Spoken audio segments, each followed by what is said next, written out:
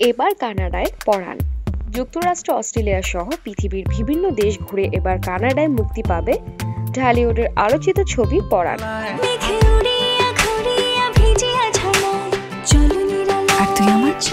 আগামী তিনই ফেব্রুয়ারি কানাডার টরন্টো মন্টিএল হ্যালিফ্লেক্স সহ বারো শহরে প্রদর্শিত হবে ছবিটি। খবরটি নিশ্চিত করেছেন ছবির পরিচালক রায়হান রাফি। দর্শকদের আগ্রহে সিনেমাটি কানাডায় মুক্তি দিচ্ছে প্রযোজনা প্রতিষ্ঠান। রাফি বলেন, এর আগে কানাডায় মুক্তির কথা ছিল আমাদের সিনেমাটির সেই সময় যুক্তরাষ্ট্র, অস্ট্রেলিয়া থেকে দারুণ সাড়া পাচ্ছিলাম। পরে জানতে পারি, কানাডায় বসবাসরত বাঙালিদের ছবিটি দেখার আগ্রহ আছে। তারা নিয়মিত ফেসবুক ও বিভিন্ন জায়গায় মন্তব্য করে সিনেমাটি দেখার আগ্রহ প্রকাশ করেছেন। মূলত তাদের আগ্রহে সিনেমাটি কানাডায় মুক্তির উদ্যোগ নিয়েছি।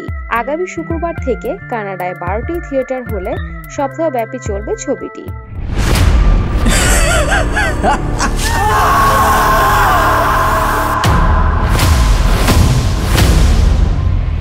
কানাডায় ছবিটি পরিবেশনার দায়িত্ব রয়েছে যুক্তরাষ্ট্র ভিত্তিক পরিবেশক প্রতিষ্ঠান বায়োস্কোপ।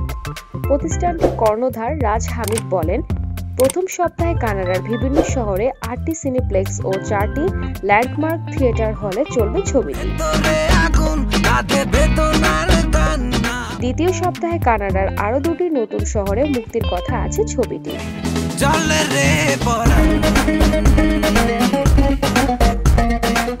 রাজ হামিদ জানান, এরপর সংযুক্ত আরব আমিরাতের বিভিন্ন শহরে ছবিটির মুক্তির প্রক্রিয়া চলছে। এদিকে কানাডায় তিনি ফেব্রুয়ারি মুক্তি পাচ্ছে নক অ্যাট দ্য ক্যাবিন। এটি ফর ব্র্যান্ডি, ক্লোজ সহ কয়েকটি চলচ্চিত্র। এই চলচ্চিত্রগুলোর পাশাপাশি প্রেক্ষাগৃহে প্রদর্শিত হবে পরাণ।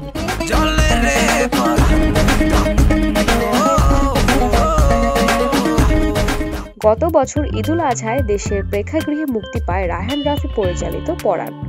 পরাণ ছবিতে প্রধান তিন চরিত্রে অভিনয় করেছেন শরীফুল রাজ, বিদ্যা সিনহা মিম ও ইয়াশ রোহান। এছাড়া অভিনয় করেছেন শহীদুজ্জামান সেলিম, রোজি সিদ্দিকী, লুৎফর রহমান, জজ রাশেদ মামুন অপু মিলি বাসার সহ অনেকেই।